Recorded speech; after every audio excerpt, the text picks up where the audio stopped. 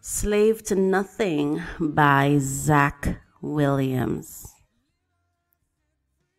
It's time now for This Day in History. You're listening to You, Me Radio Morning Show.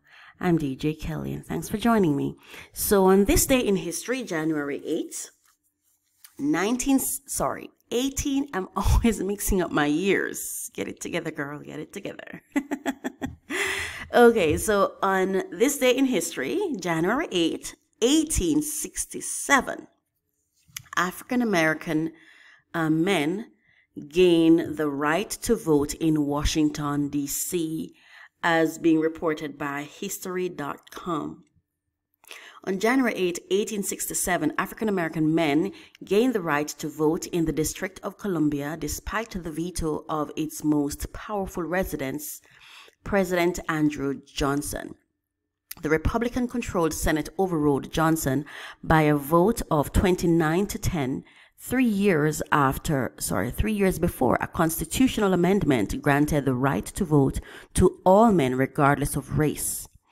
At the time, citizens of DC voted for a local council but had no representation in Congress and no say in presidential elections. Congress was the final authority on many matters for the district, including voting rights. To this day, the capital the capital city's budget is the only municipal budget in the country subject to congressional approval. At the end of the Civil War, Lincoln's Republican Party dominated the legislature, legislature,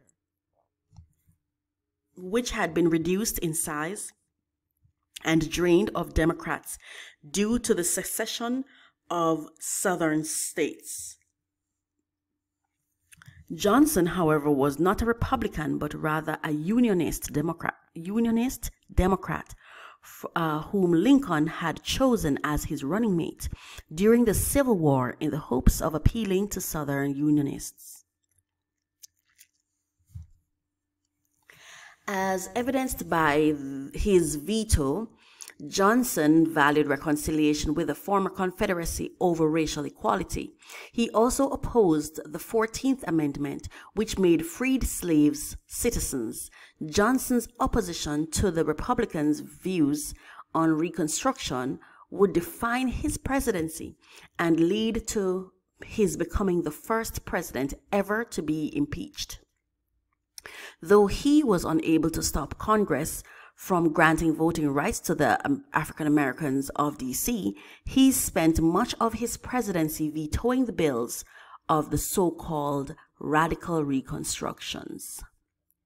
African American men in DC, with some exemptions, including those on welfare, gained the right to vote three years before the 15th Amendment guaranteed that right for all American men. Regardless of race, as citizens of DC, however, they did not gain the right to vote in federal elections until 1961.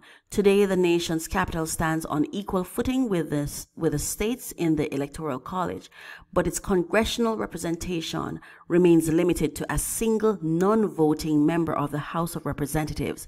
Many officials license, license plates, license plates in the district carry the phrase taxation without representation, a nod to the irony that the capital of the United States has roughly the amount of influence in the legislative process as it did before the Revolutionary War. Why do I feel like before I said 14th? Let's see. Um,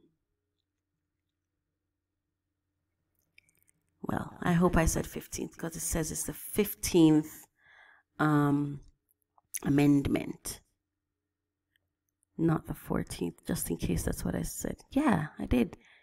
He also opposed the 14th. Okay, so there are two of them. Okay, all right.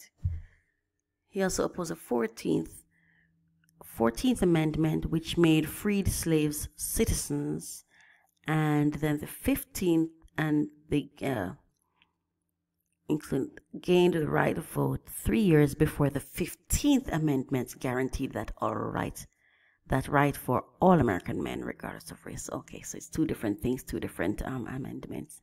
Just wanted to make sure I got that correct. Um, so on this day in history, 1867, January 8, African American men gain, gained the right to vote in Washington, D.C.